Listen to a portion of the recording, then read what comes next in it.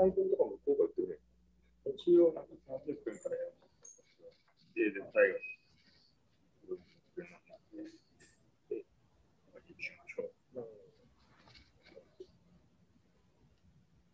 もうできるだけ、全体せるみたいな。Welcome, everyone. While we're waiting for everyone to join us, I just wanted to say thank you for being here on such a warm day in New Jersey. Um, if you're coming to us from Japan or elsewhere, please let us know in the chat. We'd be happy to see where you're coming to us from. We'll get started in just a moment.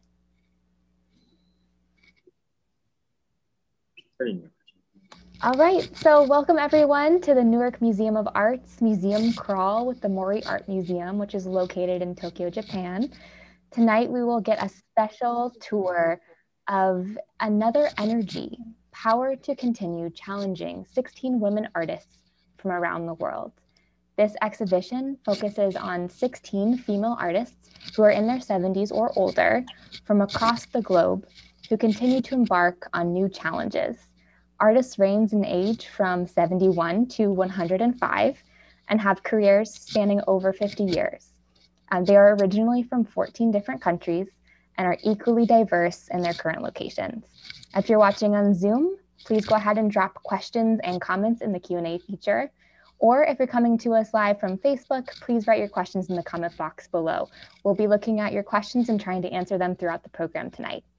We are delighted to have with us tonight Tokuyama Hirokazu, who is the Associate Curator at the Mori Art Museum, to lead us on this wonderful tour. So it is my pleasure to now hand it over to you, Toku. Thank you so much. Hi, uh, good evening, everybody. Uh, thank you, Hannah, for great introduction. I'm Hirokazu Tokuyama, Associate Curator at the Mori Art Museum. Today, uh, I give you a walkthrough tour of uh, current show, Another Energy. Uh, Another Energy is uh, uh, the exhibition celebrating uh, 16 female artists from around the world.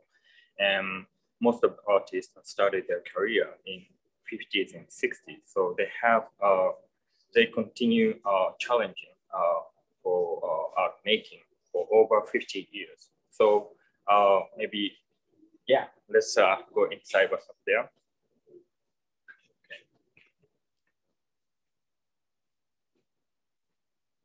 Okay.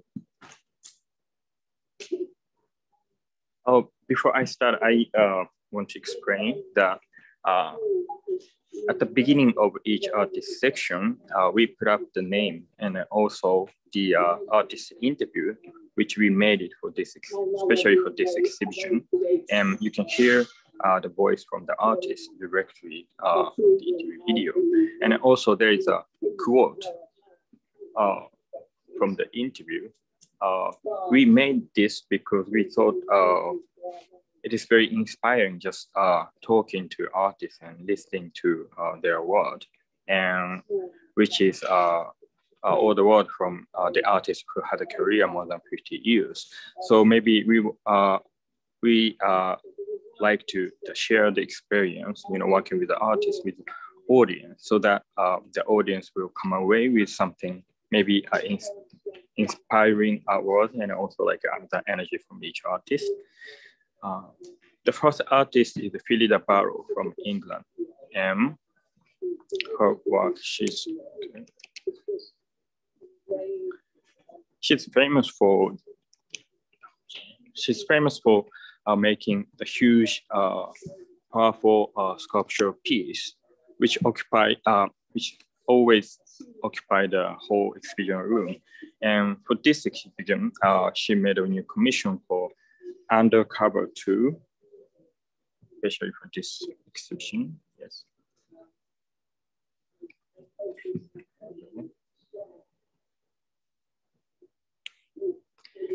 And she tried to uh, create uh, the sculpture, which is uh, on the verge of transforming to another state or uh, very abstract and it's really uh, uh, difficult. Sometimes it's difficult to explain in the words, but uh, what she intend to make or represent through her artwork is that she wants to represent something that she can only uh, express only by art. And if you look at the back side of the sculpture, it's totally different from uh, what you see from the frontal side. So it's also important for her artwork to interact with the audience, not only with the, uh, the exhibition site, so that uh, audience can just walk around the work and uh, uh, experience, you know, their own uh, interaction with uh, the sculpture piece, so that maybe stimulate uh, the imagination to create their own understand interpretation of the work, or maybe come up with a special story. And this piece was uh, the most challenging piece in the entire show because the Phyllida, uh, Phyllida Barlow, she doesn't make uh, any blueprint or architect, architect, architecture drawing for her work. She always work on site, uh, improvise uh, on site and uh, try uh, with a try and error with uh, different material.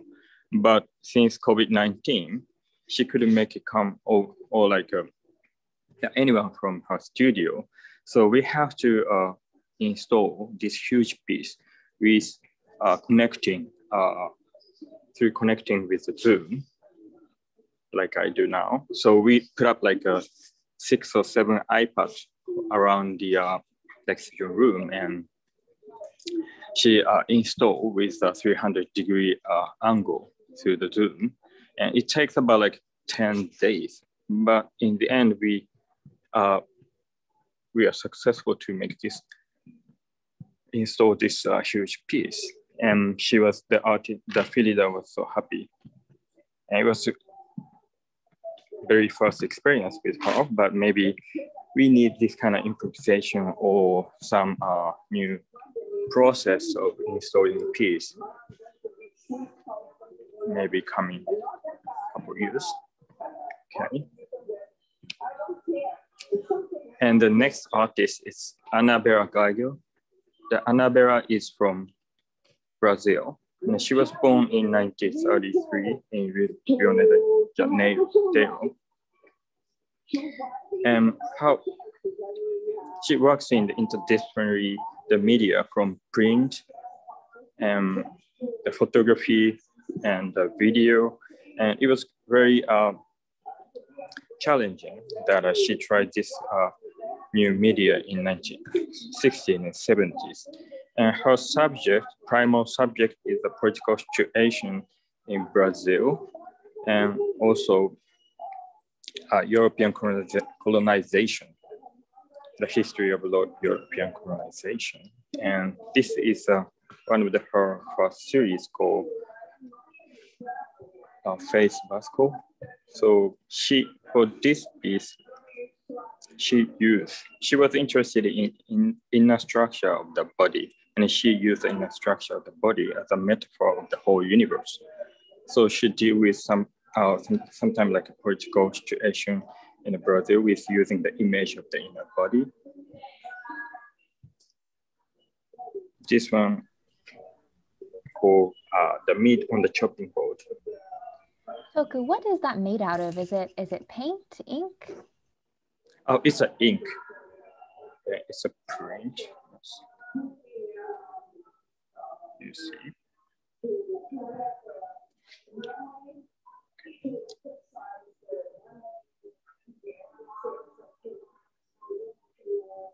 So I really like this piece because it's between abstract and uh, figurative, the image. that you can expand your imagination in all direction. Yes.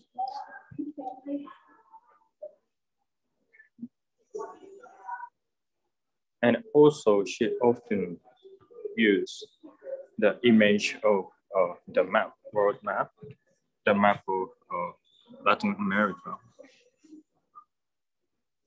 So through this piece, she questioned the idea of the border and also she questioned about the ownership of the land and the culture.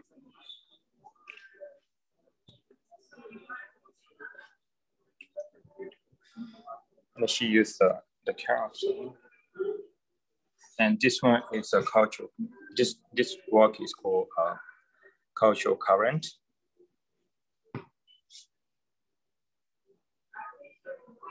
You can see the one world dependent between the continents.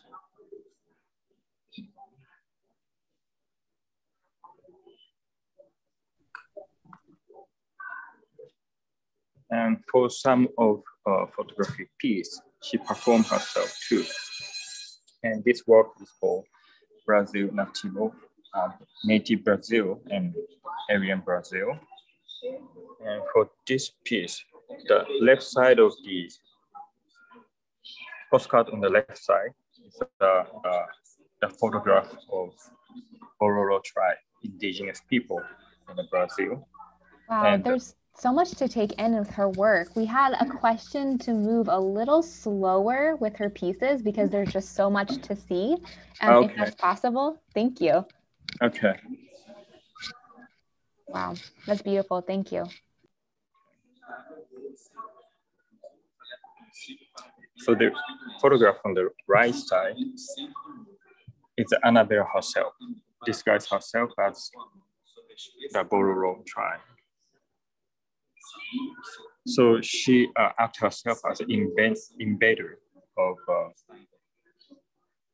the culture and also creation of the ownership of, and also the culture in Brazil.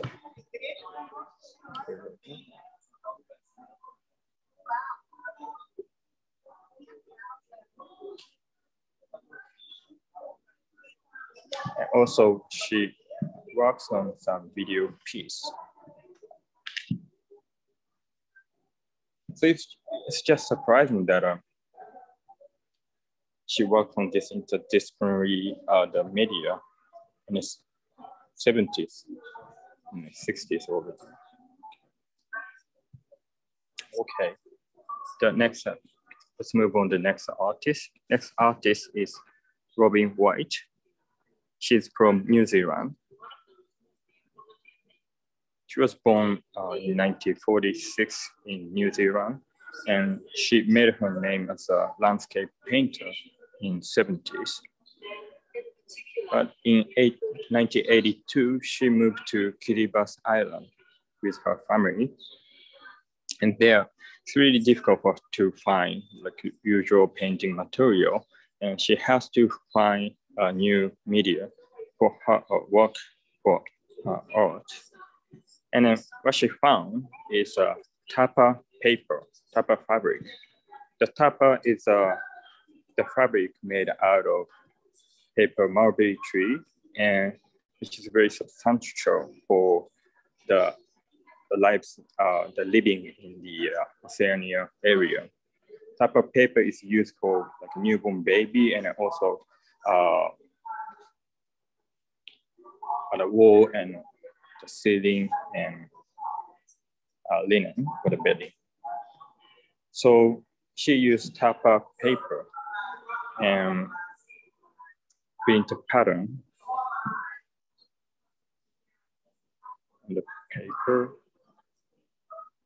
And also what is important uh, for her to uh, work on the tapa paper the new media is uh, she had to collaborate with a lot of women uh, to make one type of paper. For this piece, it's called Sing Along the Avenue. Uh, she worked with uh, 20 or 30 uh, people.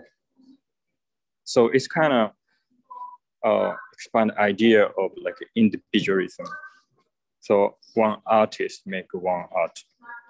Work is kind of Western way of thinking, but uh, she always have to work with many people, and there is not only one artist who makes this piece. And the quote, her quote from the interview video is very inspiring too. She said, uh, individualism is not big thing in Pacific. You're measured by your ability to get along, get along with others, work as a group. That is really striking. I, could you tell us how long that piece is? It seems like it's very, very long.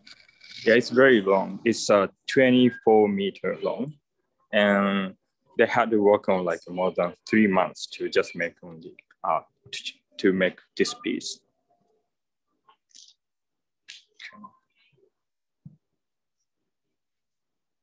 And also this one, another piece by uh, Robin White is a summer, it's called Summer Grass. And this is the piece that uh, she works on this. When she moved back from the uh, Kiribati Island to New Zealand, she uh, lived, lived in the place called Masterton. And near her, near her house, she found a place uh, where uh, at the time of World War II, uh, there was a war prisoner camp. And there was a 48 uh, Japanese war prisoner there. Uh, and also there was incident, the conflict between uh, the people, the Japanese people and the New Zealand people. And 48 Japanese soldier was killed in that incident. And when she visited the site, it was kind of for, uh, she felt like a, a forgotten, forgotten the history was there. So she uh, was urged to make a painting about this incident. And uh, what she did is she used the, uh, the wallpaper in the, uh, it's really hard to see, but this is the wallpaper. And she used a back of wallpaper that she found in uh, old house in the Masterton. So the wallpaper is something to hide on uh, underneath. So she want to reveal what's forgotten or for uh, what's forgotten in the history with using the back of the wallpaper, which is very uh, inspiring. So that would be as if it were to be pasted with the image against the wall. Is that right? Mm -hmm. Yes, that's right. Wow. Okay.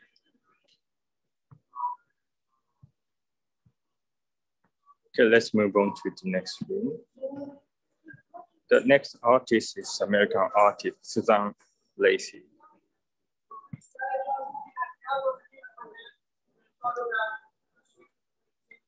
Suzanne is famous for as a pioneer of social practice and she started engaged with the feminist movement in 1970s when she uh, was enrolled in the college. And here we sh showcase uh, three work of Lacy.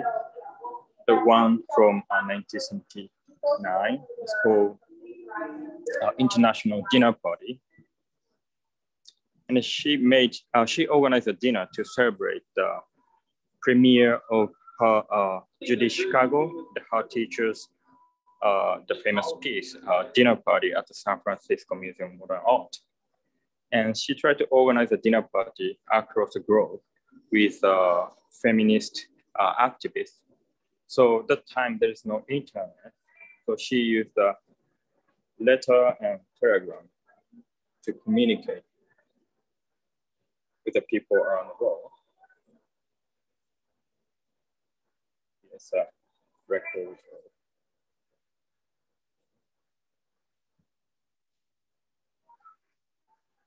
Then there's a red arrow. This is the place where the people are to part in for the dinner party one night.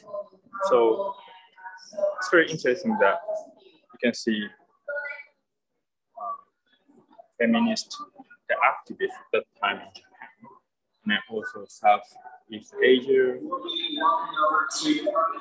Middle East. So this could be considered as kind of where the evidence of uh, international network of feminists in 1970s too.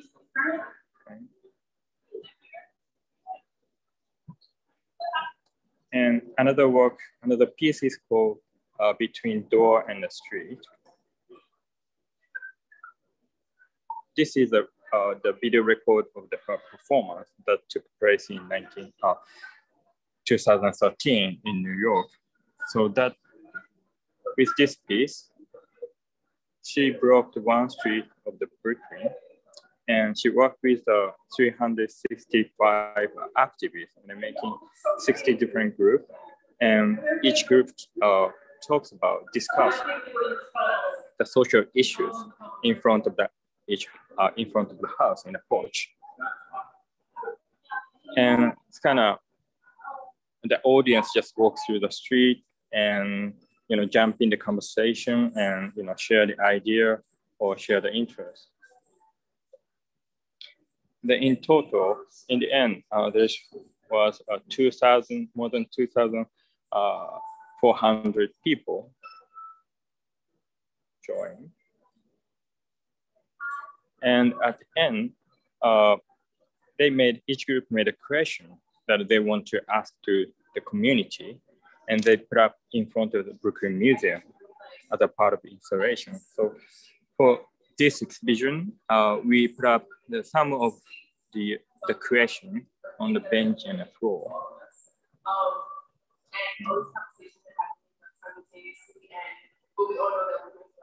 But you can see the feminism is not only about the gender, it's about race, uh, the poverty, uh, labor, and identity.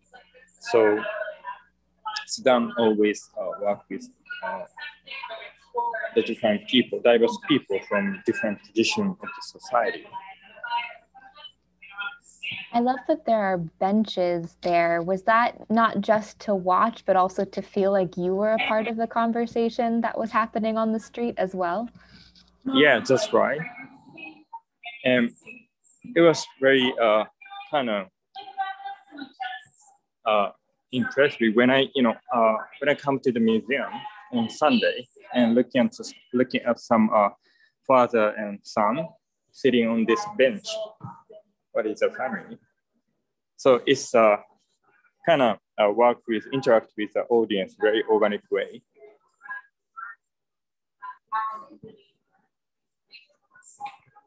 So, and this one, another piece from 1976. It's called Inevitable Associations.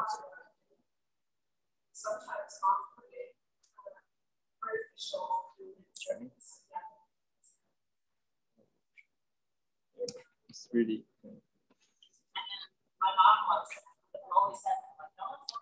So uh, this performance took place in the Biltmore Hotel in LA, and there is one. Uh, there's some newspaper article uh, when the Biltmore Hotel uh, was under renovation.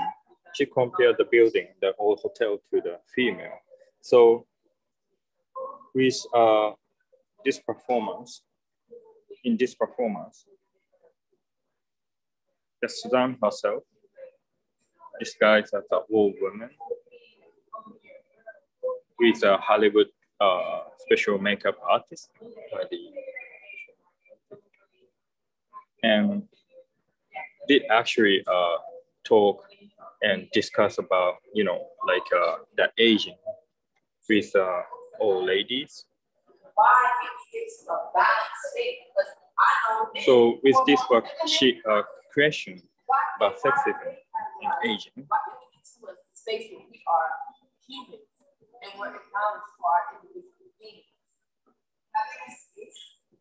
So through this work, you can see uh, Suzanne Lacy's the constant commitment to uh, social issue and also to the people who are in a different position in the society and representation.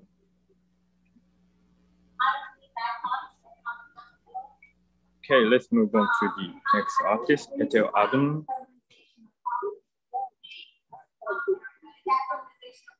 Etel Adnan, uh, she was born in 1952 in Beirut and under French mandate. So she was educated in French. Uh, uh, she was educated in French and then she speak uh, Turkish and Greek in her house. Then also she was taught Arabic by her father. Then this experience, through this experience, uh, the language become very important element for her work. And she started, she studied, after she studied the philosophy and the literature, she started writing the poetry and novel. And she moved to United States in 60s and started teaching at the, in some college. And in 60s, she uh, feel unnatural and she feel it's not right to uh, write uh, poetry and novel in French, which is the uh, language of uh, the country who are, who are that occupied her own country. So instead of using uh, the language, she started painting as the tool to the medium to express her idea. But still, you can see the strong relationship between her painting and also the language. If you look at this uh, Leporello work, it's kind of uh, draw uh, her drawing in book format. And this work is called Tree. It's so interesting that you mentioned language too. It's it feels like we're here in person watching these videos and hearing from the artists themselves in each room. So thank you so so much for for leading us down every piece. Um, I think we had a question about was getting a zoom in of one of her more graphic pieces on the wall in front of you. Mm-hmm. Could we take a close look at one of those? Yep. Thank you.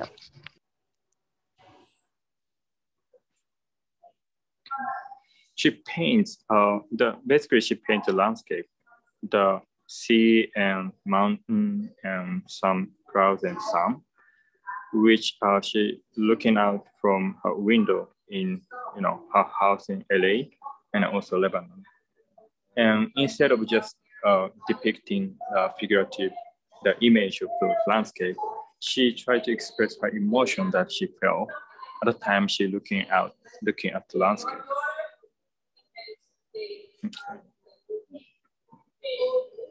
And also these smaller paintings.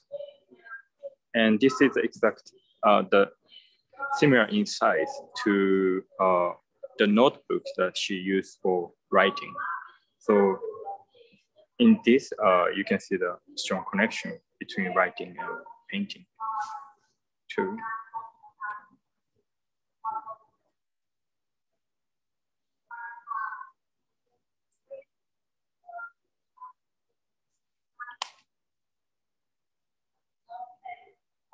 Okay. Okay, the next artist. Next artist is Lili Dujourie. She was born in 1941 in Belgium, Belgium and still based in there.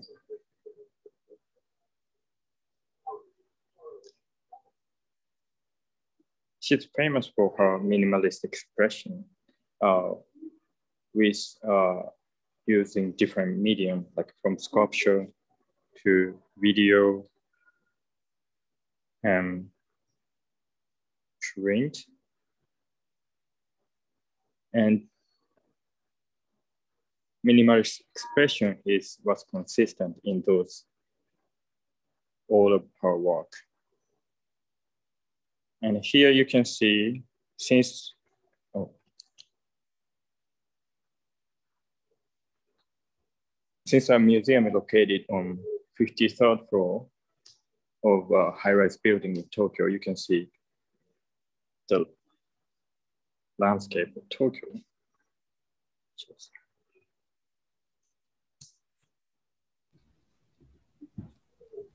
That's such a great view. Thank you for showing us that too, the context of the exhibition. Nestled in the city, in the sky. And there is uh, one piece by Lili Dujourie called uh, Landscape, just next to landscape of Tokyo. She's on the wall here. And she uh, just used a couple uh, strip of the magazine, paper strip from the magazine. creating the landscape on the wall. So could consider there is some similarity to haiku. The haiku is a Japanese uh, poetry format that uh, with a limited number of words, uh, the, uh, the poet tried to create the whole world. So maybe there's some similarity between our work and the haiku too. Okay. Okay. Someone says it reminds them of Morse code or, um, you know, letters encoded in dots. oh, yeah. that's right. I think that's a smart, a smart uh, connection. So thank you for writing yeah. that. okay, the next artist is Kim Soun-Gui from Korea. She was born in 1946 in Korea and moved to France in the 1980s and work with uh, she work with video and poetry and the photography, very uh, interdisciplinary uh, the media, and also she worked with uh, some art, uh, French artists, French philosopher like uh, Jean-Luc Nancy, and also uh, John Cage, the artist, and Nam June Paik. And this exhibition, she uh, represents artwork of uh, forest poem, and which is of respond to the situation uh, of uh, COVID-19. Since Mori Museum, the name, the Mori means uh, forest. So what she tried to create is uh, she tried to create the forest of poem. So what she did in this work is she collect poetry reading the video from uh, the poets around the world. It's about like a 60 or 70 uh, the video. And actually uh, this uh, the video uh, was uh, automatically uh, edited uh, by algorithm and responding to the weather in Tokyo at this moment. So you never see uh, the same uh, video or same editing the, the of the video in the exhibition room. It's really uh, uh, improvised uh, spontaneously to responding to the weather in Tokyo.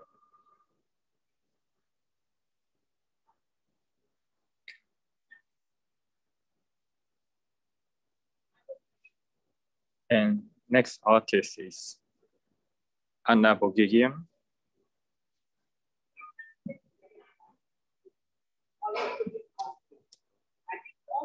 Anna was born in 1946 in Cairo in Egypt.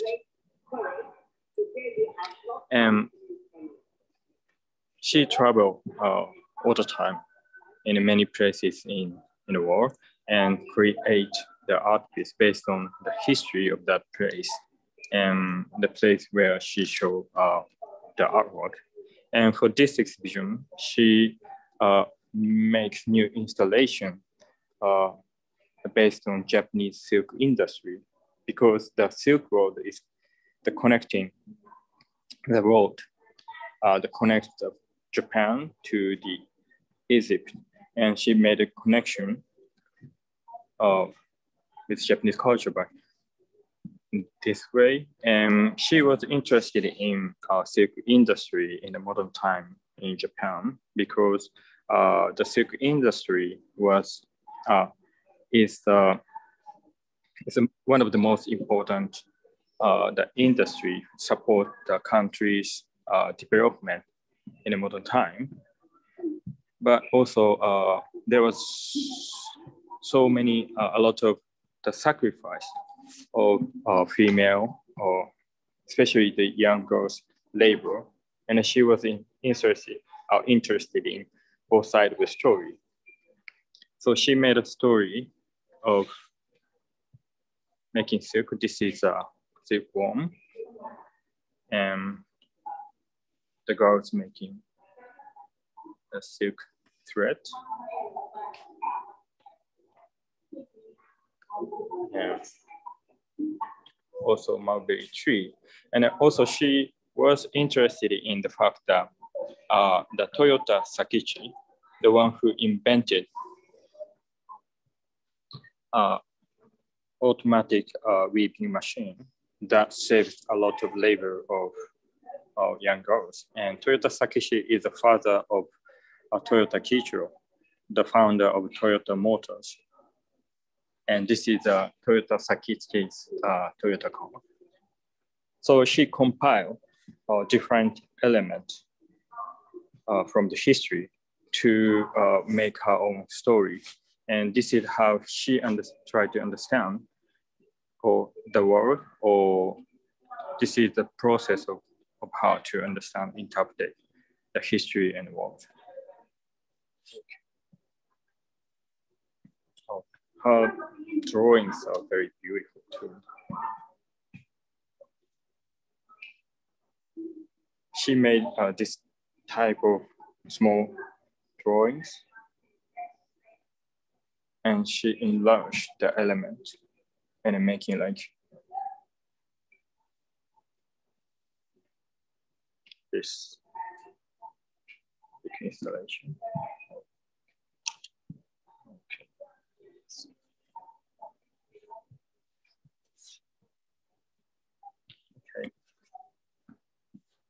Let's move into next room. In next room, uh, there's three artists showcased, and all the work or, all the artists has worked on minimalist uh, style.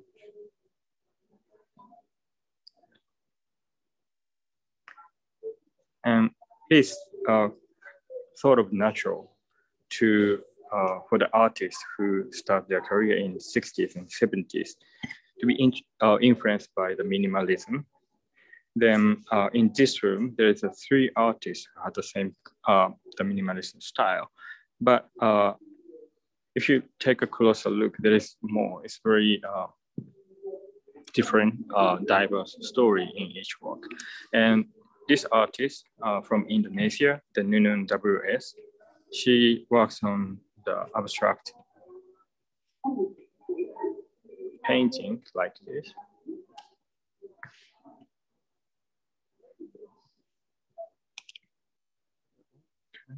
Like this.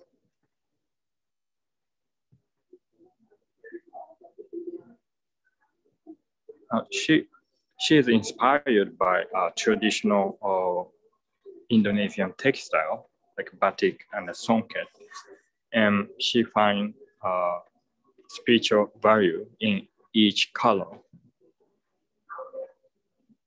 that is used in a textile. So for her, uh, this spiritual value, so like spirituality and also like emotional uh, the value is very important for her paintings. Are those separate canvases placed together or is that all one painting? Oh, it's a separate canvas.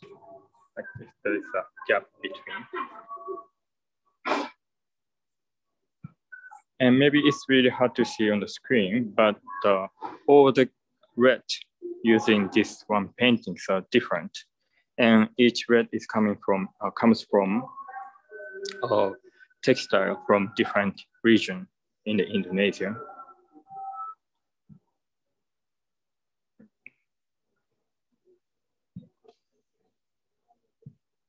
And the next to Nunung, uh, the paintings by Carmen Herrera was here the Carmen, uh, she was born in 1950, uh, 1915 in Cuba. And probably some of you remember her uh, retrospective that happened in uh, 19, uh, 2010 in Whitney.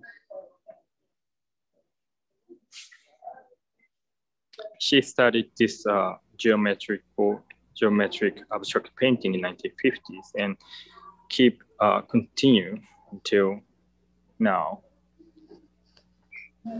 Is she one of the older artists in this show? Yes, she's the old, oldest artist. She just turned uh, 106 year old two weeks ago. Oh, wow. Yeah. And her quote is very impressive. She said, I waited for a long time. They were saying, if you wait for the bus, the bus will come. I waited almost a century for the bus to come. It came. Very cute.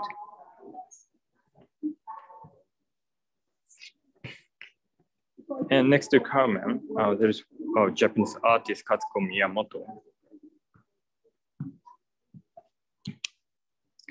Kazuko was born in 1942 in Tokyo, but she moved to New York in 19, uh, 1966, and she's still uh, based in New York until now.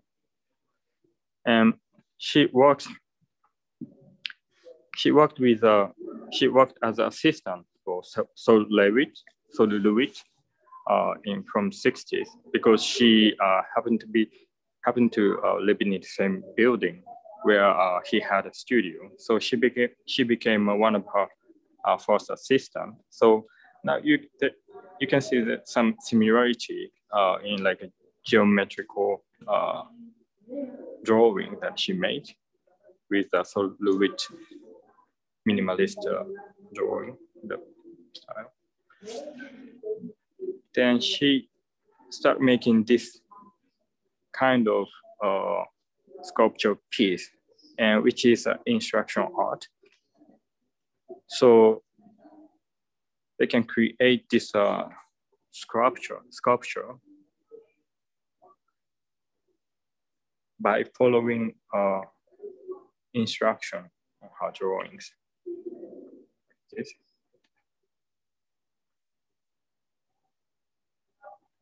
For this piece, it's called uh, Black Puppy uh, she used uh, uh, 1,900 uh, nails connecting with string.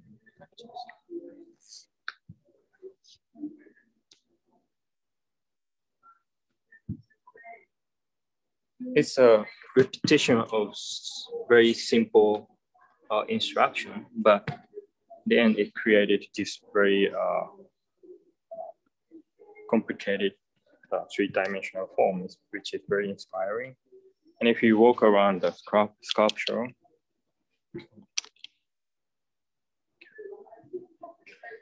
you can see how it changed according to the movement of the audience. So again, this uh, the engagement of the audience is very uh, one of the important elements for her work too. And this is another work title.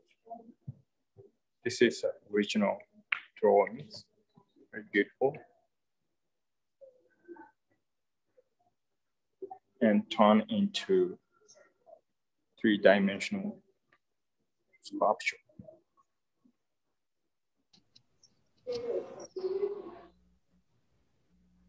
It is so interesting that part of her work is a blueprint for the other part of her work. I don't want to rush you, but I think we only have about seven more minutes together. Okay. So okay. just so you know, thank you. Okay, so uh, let's move on. Okay, next artist is Senga Nengudi, uh, African American artist. Okay. Okay. So there's a very interesting connection with, uh, between Senga and Japan. She, uh, in 1966, she uh, studied abroad in Japan and stayed in Tokyo for one year to uh, uh, to uh, make research about Gutai uh, Art, Artists Association, which is a very avant-garde artist group in Japan at that time.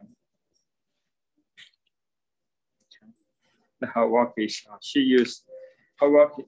She's famous for this uh, uh abstract uh, sculpture with using uh, very soft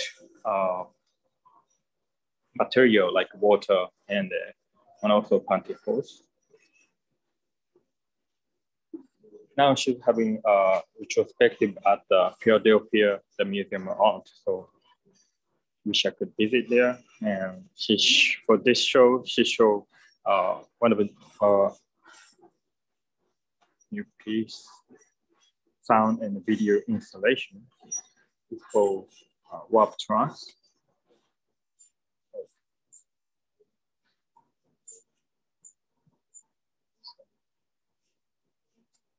Maybe I should rush.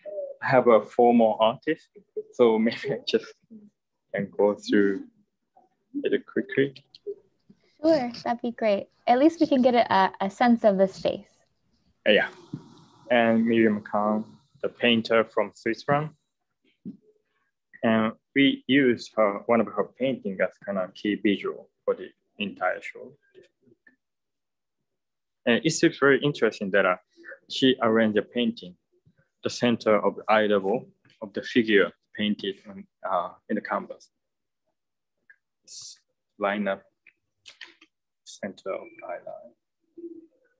So it's kind of uh, symbolize kind of transcendental the view uh, toward the world, that all the things in the universe are equal. And next artist is uh, Beatriz Gonzalez. She's from Colombia. She was born in 1932 uh, in Colombia. And her work is very political. She works uh, engaged with social issues and uh, memory in the society. Colombia.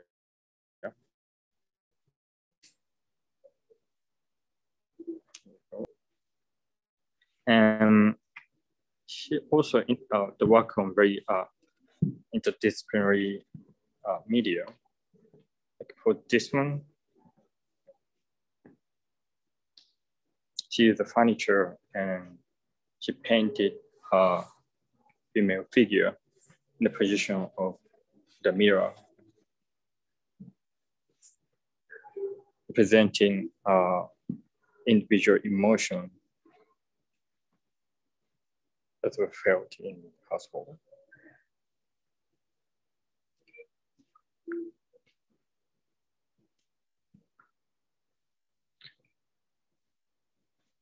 And the next artist is uh, Arpita Singh from India.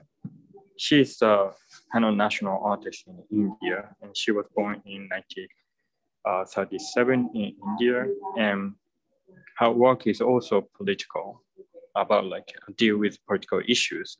And it's kind of rare for Indian contemporary artists to work on uh, like directly engage with political issue. She started working with uh, this abstract, this type of abstract drawing, but developed into this figurative uh, painting. And this is a kind of landscape of New Delhi. And she depicted uh, male politicians or on the map, and then also like half buried female. And the text was very straightforward. It says uh, 56 men, 12 women, rest are body are vanished. So you can take this, the whole painting is kind of criticism, criticism on power structure in New Delhi. Okay. And her use of color is very beautiful. It's part uh, is partly influenced by her experience working in a traditional textile workshop in India right after she graduated from the art school. Okay, so the next artist is uh, Mishima Kimiyo, Japanese artist. She's the last artist of the show she was born in 1932 in Osaka in Japan.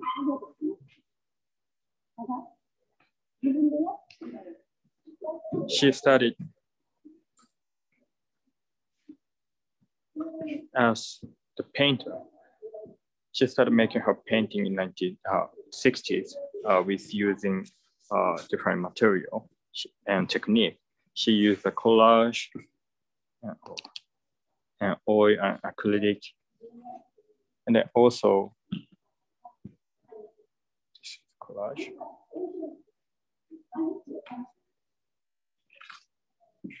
This is the oil painting, collage. and also silk screen printing.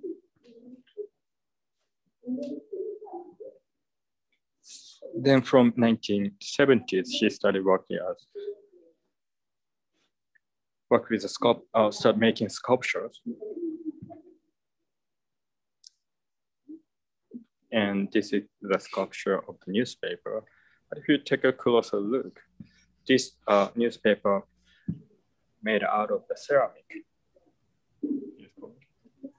So she combined the technique with make the ceramic with a silk screen printing. So she made a print on the ceramic. That's fascinating. Yeah, in the five years. And she tried to represent the fear that she had uh, in uh, rapid economic growth,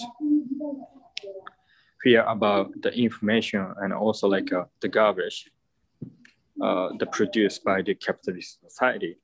But she thought like, uh, you know, in the near future, we uh, the society will collapse by flooding of uh, information and the garbage. So she tried to, uh, by uh, convert the newspaper uh, to different material ceramic, she tried to depict or she tried to depict the potential danger hidden in the information or information society or uh, the garbage that's produced by the uh, capitalist society because the once the ceramic breaks, it becomes sharp and it hurts our skin. So, and the back of this huge piles of the ceramic, uh, the newspaper made out of the ceramic, there is a, also another garbage, the cardboard, and the empty can. These are also made out of ceramic. Wow, I would never have guessed that from looking from this far away. how how interesting. It strikes me that all of the artists that you've chosen for this exhibition have such wonderful multi-layered meaning to their mm. works. And so it's such a treat to be able to see them through your eyes as the curator, uh, and see the meeting that that you all kind of put together for this show.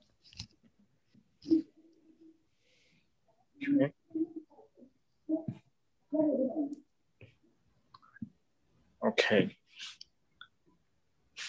Maybe uh, my camera was not so good because it was my first time to shooting and talking at the same time. So No, you did a fantastic job. Thank you so, so much for both walking us through the whole exhibition and making us feel like we were in Japan. Uh, some of us may be in Japan right now, but those of us who aren't, that was a real treat.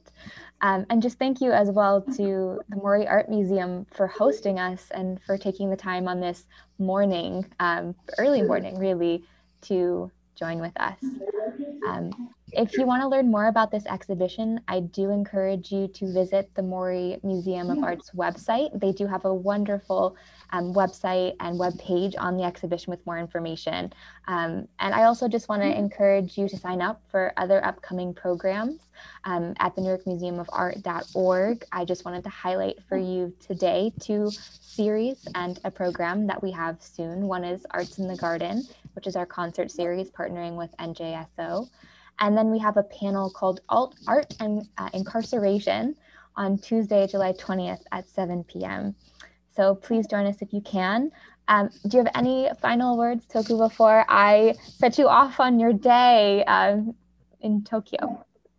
Yeah, uh, yeah, I want all of you, all of you to come to Japan once border is open and once the, you know, like COVID-19 is settled down looking forward to see all of you in Tokyo. Hopefully soon, yes. We're, we're all eager to travel, and we'll make sure we reach out to you if uh, if we do visit soon. It would be great to see the museum in person, and please do the same if you come to New Jersey. Oh yes, will. Well, I think we've answered all of the questions from our audience. And so I will just say one more time thank you so much for having us take a visit virtually with you today.